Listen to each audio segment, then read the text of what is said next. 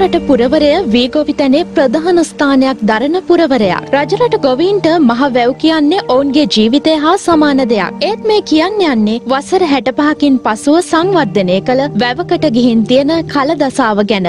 මැදවච්චය ප්‍රාදේශය ලේකම් කොට්ටාශයේ අංක පනස් දෙක තුලානේ කඩවත් රඹෑව ලුණු පැහිච්චාව ගම්මානයට අයත් මහවැව කුඹුරු අක්කර එකසිය පණහක් පෝෂණය කරන වැවක්. මේ වැවේ වැව්බැම්ම තොටුපල සහ සොරව්වේ සංවර්ධන කටයුතු මීට මාස හතරකට කලින් ආරම්භ කර තිබෙනවා. ඒ ගොවිජන සේවා දෙපාර්තමේන්තුවේ සංවර්ධන ව්‍යාපෘතියක් ලෙසයි. නමුත් මේ වන විටත් ලුණු පැහිච්චාව මහවැවේ සංවර්ධන කටයුතු අවසන් වෙලා නැහැ. උතුරුමැද පළාතට මේ දිනවල ඇදහැලෙන අධික වර්ෂාවත් සමග මේ වැවේ වැව්බැම්ම සෝදායාමේ තර්ජනයකට ලක් වෙලා. වැව්බැම්ම දවසින් දවස බිඳියාමේ අවධානමට ලං වෙනවා. ඒත් ලුණු පැහිච්චාව ගොවීන්ට ඇරෙන්න මේ ගැන බලධාරීන්ට නම් කිසි ගානක් නැති වෙලා. අපේ දරුවන්ට තියෙන මේ වැවේ මෙහා පැත්තේ කුඹුරු ආය කරන්නේ මේ වැවේ වතුරට.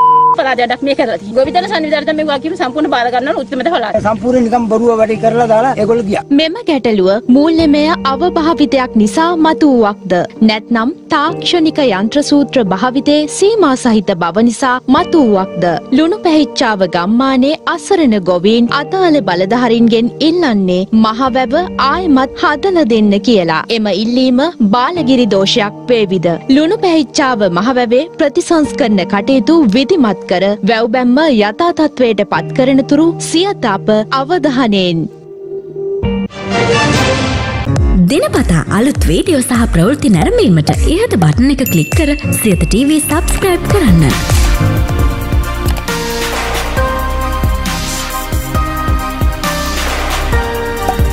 අලුත් වීඩියෝ ගැන මුලින්ම දැනගන්න මෙම සීනුව කලික් කරන්න.